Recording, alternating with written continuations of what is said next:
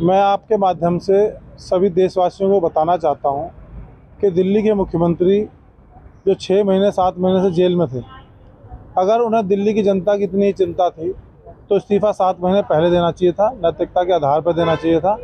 आज वो कह रहे हैं कि दिल्ली की जनता मुझे दोबारा चुनेगी तो ही मैं उस कुर्सी बैठूँगा। ये बड़ा हास्यास्पद है। अरे जनता चुनेगी, इन तो बैठोगे कैसे? ज़बरदस्ती कुर्सी बैठोगे? जब जनता का मैंडेट आएगा, जब तो आप कुर्सी पर बैठोगे, ये तो नेचुरल बात है।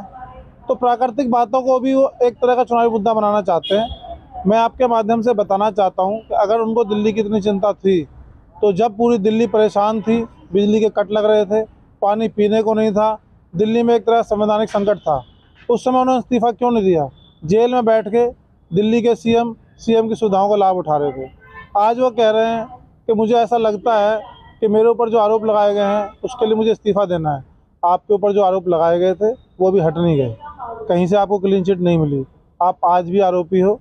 आरोपी की तरह ही कोर्ट में पेश हो गए और मैं ये आह्वान करना चाहता हूँ, केजरीवाल जी से अपील करना चाहता हूँ, अगर आप में थोड़ी भी नैतिकता है तो तुरंत इस्तीफ़ा दे के और जिस लिए आप राजनीति में आए थे, ईमानदारी के लिए राजनीति में आए थे, उस चोले की पोल आपकी खुल चुकी है।